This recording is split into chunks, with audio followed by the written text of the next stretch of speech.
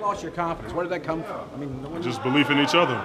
Belief in each other, belief that everybody's going to do their job, and belief that we're going to be where we're supposed to be to make the plays that we got to.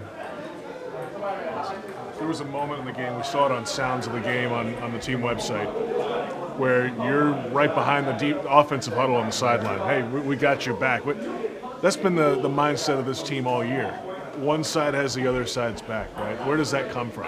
How do you how do you grow that over the Well, season? that's what you have to have if you if you on a team. It can't be uh, one person just trying to get all the stats and uh, awards or whatever. But um, I tell I tell Trev and the offense all the time. You throw a pick or a fumble happens or whatever. Don't don't think about all that. Have short memory, and our job is to stop people. So we're gonna go out there and do our job. You throw a pick, don't worry about it. We got your back. Don't even trip. This Kansas City team's explosive, obviously. Um, but, you know, when they get rolling, how do you get them off of that roll? I mean, that's everybody, tough. if everybody does their job, they won't they won't be able to to, to get rolling. Um, but it starts with everybody doing their job, being where they're supposed to be. challenging Mahomes. He can move around, get out of the pocket, and for a defense, especially secondary guys, they got to chase guys around. But what is that challenge for a defensive line?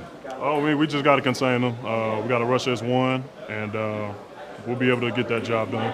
It's been a long time building and, and coming to get to this playoff spot, and then obviously the win last week. So uh, there's this idea out there that the Jags are playing with house money. But Doug the other day was like, "No, I mean, it's our money, house, whatever. We're in it now. You guys just got to go approach it as another game, right?" Yeah, I mean it's it's same game. You know, just you're just more behind it. You know, we obviously playing for a chance for the uh, AFC Championship, so we just got to go out there and play. It's just a game. It is just a game, but obviously we we want to win this one. I don't want to say it's just a game, but it is just a game. Nothing's changing. It's a football game.